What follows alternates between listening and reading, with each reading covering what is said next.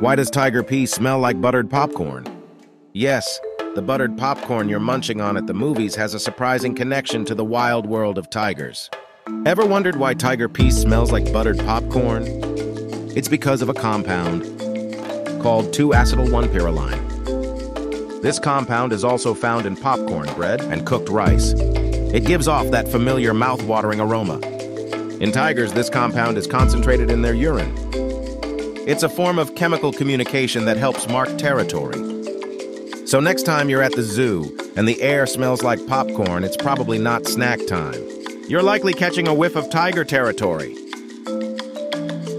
Of course, it's best to enjoy this popcorn smell from a safe distance. Because tigers, as majestic as they are, not the cuddly type,